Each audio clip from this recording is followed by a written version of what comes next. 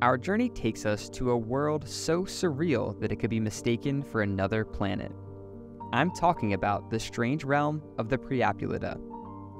Join us as we unravel the lives of these unique creatures and witness their extraordinary strategy for burrowing in marine sediments.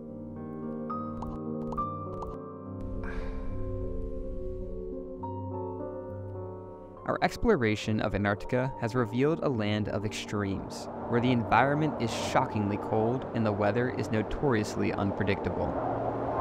This unforgiving continent has even been used to simulate extraterrestrial conditions for space research. And it's not just the environment that feels otherworldly. The creatures that call Antarctica home are equally astonishing. We've already encountered many of these animals, but this is the most alien of them all.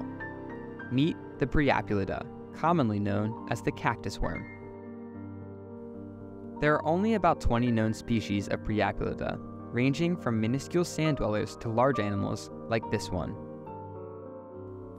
The term cactus worm refers to its spike covered proboscis known as an introvert. The mouth of the Priapulida is situated at the end of this introvert. The introvert can fold freely into and out of the cactus worm's body. The main body of the Priapulida is called the trunk. The trunk is sculpted with a pattern of ridges. These ridges are composed of circular muscles. The cactus worm can move by contracting these muscles, pumping water into the introvert. Here we can see a cactus worm contracting its trunk and extending the introvert. It pushes a narrow introvert into the sediment and then inflates it. The recurved spikes help lock it in place and allow the cactus worm to pull itself forward. This process is repeated, allowing them to swiftly navigate through the mud. These animals spend most of their time buried in sediments like this, where they hunt for soft bodied invertebrates. A particular favorite are annelid worms. As the cactus worm submerges its body, we catch a glimpse of its tail end, adorned with a set of stringy tentacles known as caudal appendages. While the exact function of these appendages remains a mystery, some theories suggest their involvement in gas exchange.